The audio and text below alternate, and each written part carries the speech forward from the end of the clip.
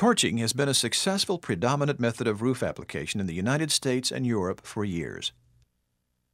In addition to being fast and efficient, torch application answers many practical concerns associated with common hot asphalt applications, including objectionable asphalt fumes, inconsistent quality of the various sources of hot asphalt, and complicated job site logistics. But even the success of a time-tested method like torching is subject to the quality of the application. Understanding basic torching techniques is key to the success of any torch-applied roof system. Conventional torching equipment utilizes an open flame, so there are obviously safety precautions that must be observed. Siplast strongly recommends that anyone considering torch application contact the National Roofing Contractors Association for complete information on the Certified Roofing Torch Applicator Program, known as CERTA. The CERTA program includes not only safety training, but also industry requirements for torch applications. While every effort has been made to make the contents of this presentation compliant with CERTA requirements, it does not, nor is intended to, include comprehensive information on those requirements or act as a substitute for CERTA training. Siplast recommends that in Canada, either local torch safety guidelines or CERTA regulations be followed. Because some substrates may present a fire hazard when roofing materials are applied with a torch, CERTA requirements include and stress the importance of keeping approved, fully charged fire extinguishers nearby and conducting a fire watch following all torch applications. Siplast manufactures four torch-grade products, Paradiene 2030 TG, Paradiene 20TS, Veral, and Parafor 50. Siplast's Paradiene 20TG and Paradiene 30TG roofing membranes are manufactured with a patented grooved torching surface. The grooves provide air channels beneath the plastic film, making quicker, more complete plastic burn-off possible. To properly torch Paradiene 20TG, Siplast recommends using a minimum 7-burner torch wagon or a double-burner hand torch, although a single-burner torch may also be used. When using a torching wagon, aim the flame low on the roll and be certain that the entire width of the roll is being torched. With a double burner hand torch, concentrate the heat low on the roll at the point where the Paradiene 20TG and the substrate make contact. Heat the back side of the roll by moving the torch across the entire width of the roll in a steady, even motion.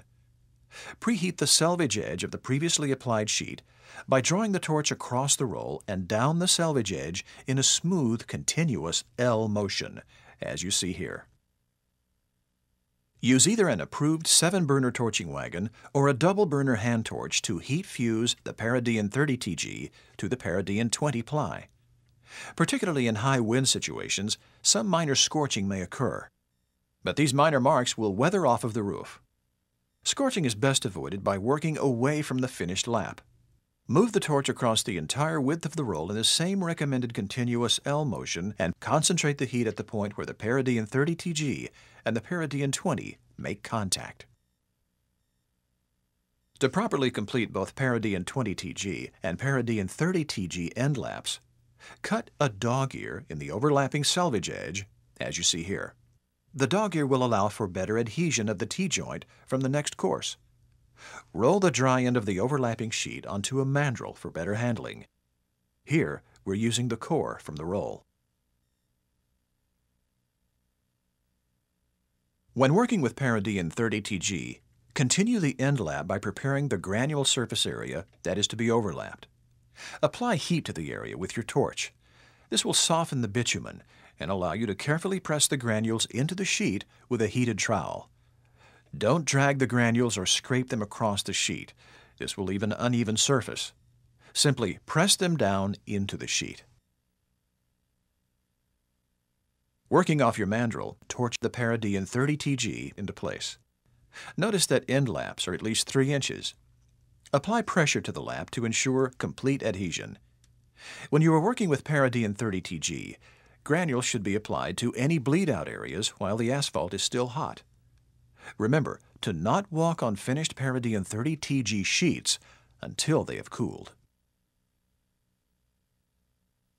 You can tell when Paradiene TG products are properly heated by observing visible changes to the back of the sheet. Watch closely, and you'll see how the grooves on the back of the sheet will allow you to easily see the plastic film burning off completely. Always apply sufficient heat to burn off the plastic film and completely tackify the back coating without overheating or liquefying the modified bitumen blend. At side laps, the sheet will appear shiny, and there may be a small bead of modified bitumen bleed out. Granules should be applied to any bleed-out areas while the asphalt is still hot. Manufactured using patented production technology, Paradiene 20 TS consists of Siplast's Paradiene 20 with a series of factory-applied, heat-activated, modified asphalt adhesive stripes staggered across the backside of the sheet. The unique composition and design of the adhesive stripes provides an excellent bond to the substrate, while providing a controlled semi-independent attachment and venting channels when those characteristics are required. Paradiene 20TS can be heat bonded to primed concrete or approved insulation using a conventional hand torch or an approved torching wagon. If you are using a torching wagon, be sure that the entire width of the roll is being torched. When hand torching, move the torch in a smooth sweep across the entire width of the roll. To ensure complete adhesion, don't stop the torch short of reaching the edges of the roll. Preheat the selvage edge of the previously applied sheet by extending your torch movement into the L shape you are now familiar with. Less heat is required to activate TS adhesive stripes than is necessary on flat surfaced products. As with any torching operation, it is imperative to get the right amount of heat on the roll. As you torch, Observe the changes to the bottom of the sheet. Desired burn-off of the plastic film is easy to recognize. When properly heated, the film is completely gone, and the adhesive stripes become shiny and tacky, and they bond well to the substrate. Underheated rolls will not be properly adhered to the substrate. Overheating the semi-adhered TS will mar the striping pattern, and therefore compromise the venting capability of the sheet. With Paradiene 20TS, end lap should be butted rather than lapped, and applied in courses of even length so that the ends align rather than stagger. To seam the 20TS membrane, cut a 12-inch wide strip of Paradiene 20TG and use it to tape across the butted ends of the Paradiene 20TS. Set the strip of 20TG centered over the joint between the sheets of 20TS and torch it into place. Siplast's distinctive Veral combines a glass scrim reinforced SBS modified asphalt base with a protective foil facing in aluminum, copper, stainless steel, or polar white Kynar 500. Veral is ideally suited for slope proofing and base flashing. Veral is generally torched with a double burner hand torch, although on workable slopes, a seven burner torching wagon is acceptable. If you are using a hand torch, a pull bar or a chain harness can be used to move the roll. The slope of the roof and the weight of the roll itself will determine which method of roll handling is most practical for a particular job site.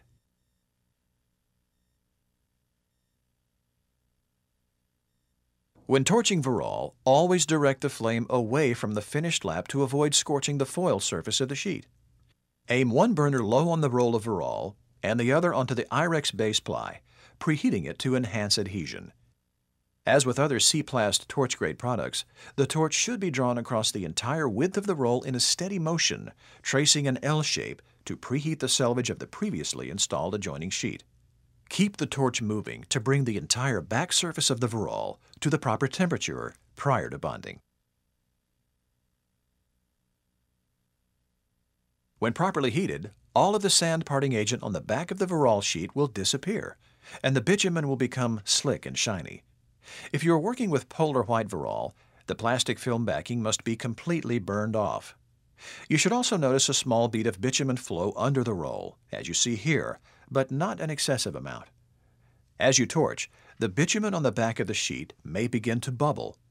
If the asphalt heats past the point of bubbling and begins to run, as we are demonstrating here, the sheet is overheated. Overheating Veral can cause foil delamination.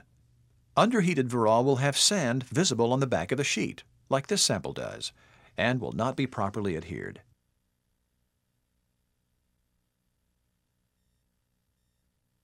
As Veral is torched into place while it is still hot, a damp sponge mop should be used to broom in the Veral membrane.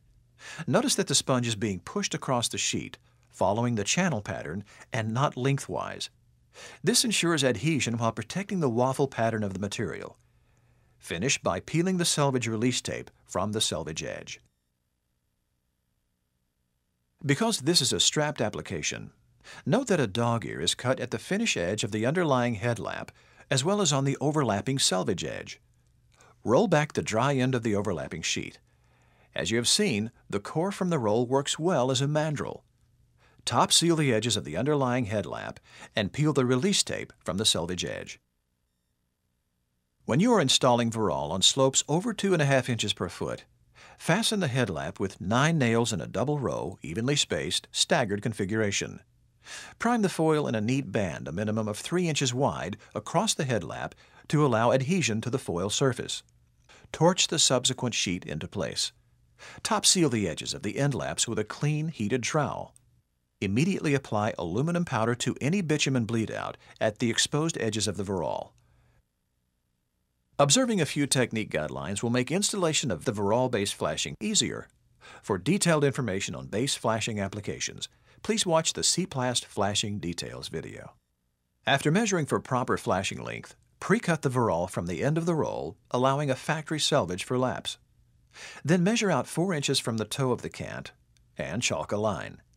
Prepare the granule surface on the wall side of your chalk line using the method presented earlier, heating the surface and allowing the bitumen to soften, and then carefully pressing the granules into the sheet. You may choose to use liquid primer rather than torch priming. If you do so, be sure to allow the primer to dry completely before torching. Remove the selvage release tape from the Veral pieces before you install them. Carefully set the Veral base flashing piece in place. Fold the base flashing down and rest it on a damp sponge. With the sheet in place, you're ready to begin torching. Preheat the IREX base sheet with your torch and begin heating the backside of the Veral flashing sheet. Always heat the Veral in small, manageable, squared-off sections. Don't attempt to heat the entire piece at one time. And don't forget to direct the flame away from the finished lap to avoid scorching.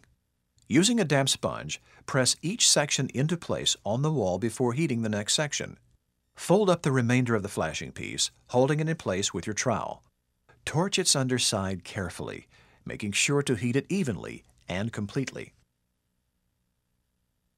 With the entire piece in place, use a damp sponge to apply pressure, ensuring complete adhesion. Be careful not to deform the waffle pattern of the Veral. Run a heated trowel along the edges of the Veral to top seal it. Dust any areas of bitumen bleed out with aluminum powder while the bitumen is still hot. One technique for installing Veral wall treatments is to work from the top of the wall. After nailing the pre-cut piece of Veral, peel the release tape from the selvage.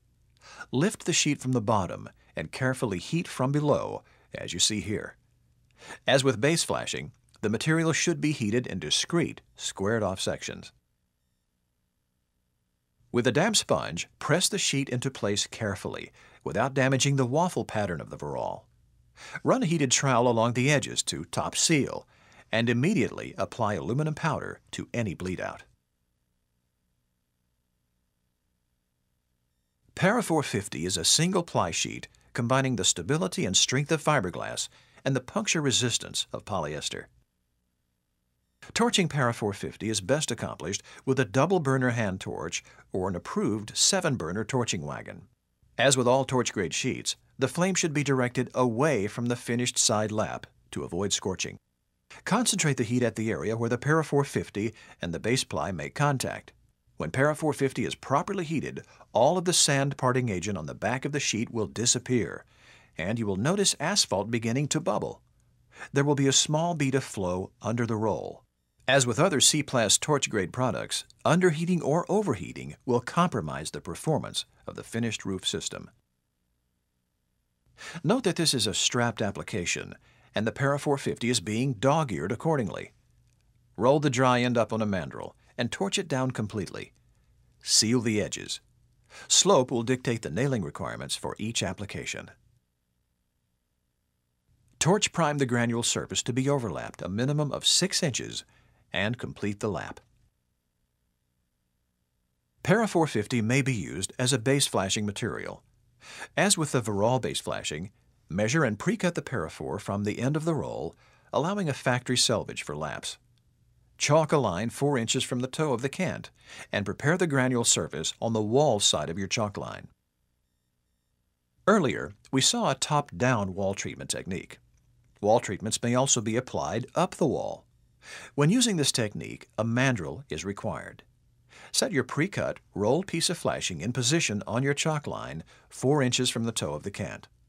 Roll the mandrel up the wall, preheating the base sheet and torching the flashing into place as you go. Torch carefully, making sure to heat the flashing evenly and completely. Don't forget to direct the flame away from the finished lap to avoid scorching.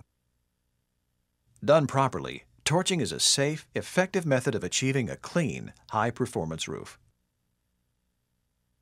This program provides an overview of basic torching techniques as they apply to Siplast SBS modified bitumen torch grade materials. If you have any questions regarding Siplast products and their application, please contact your Siplast representative.